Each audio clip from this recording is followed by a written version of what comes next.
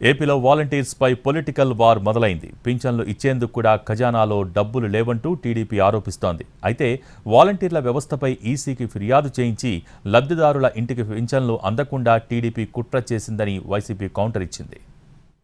జగన్మోహన్ రెడ్డి ఆర్థిక శాఖ మంత్రి వీళ్ళిద్దరూ ఒకటై పదిహేను వందల కోట్ల రూపాయలు మున్సిపల్ అడ్మినిస్ట్రేషన్ డిపార్ట్మెంట్ ద్వారా మొత్తం డబ్బులన్నీ కూడా బిల్లుల రూపంలో చెల్లించేశారు. ఈరోజు పేదవాడి పెన్షన్ల గురించి ఉంచినటువంటి డబ్బు వీరు సొంత బిల్లులకి చెల్లించి ఈరోజు ఖజానాలో రెండు మూడు వందల కోట్ల రూపాయలు కూడా లేదు. మరి వాళ్ళు కడుతున్న వాళ్ళు ఇస్తున్న పెన్షన్ కూడా పంచొద్దని చంద్రబాబు నాయుడు వచ్చి మరి తెలుగుదేశం పార్టీ పిటిషన్ పెట్టి వాళ్ళతో చేసి చేయపోతే ఈ నెల పెన్షన్ ఎవరు ఇస్తారు? వాళ్ళు తెచ్చుకోవాలి. వాలంటరీ వ్యవస్థ ఉంటే మరి ఇంటింటికి వెళ్ళి తిరిగి తేడానికి కాదు కదా?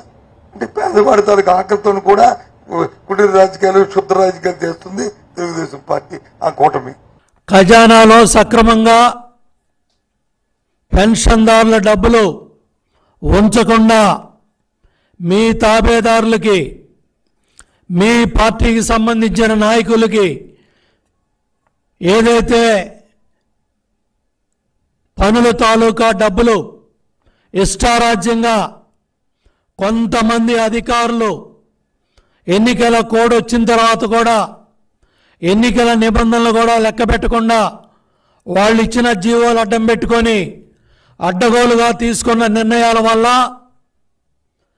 వేల కోట్ల రూపాయలు వైసీపీ ప్రభుత్వ కాంట్రాక్టర్లకి దోచిపెట్టింది జగన్మోహన్ రెడ్డి ప్రభుత్వం.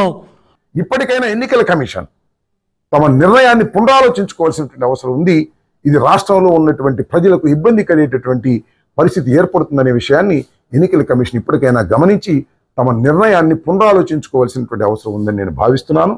ఇది పెన్షన్లు తీసుకుంటున్నటువంటి వారి మీద కక్షతో చంద్రబాబు నాయుడు గారు ఈ విధంగా ప్రవర్తిస్తున్నాడు.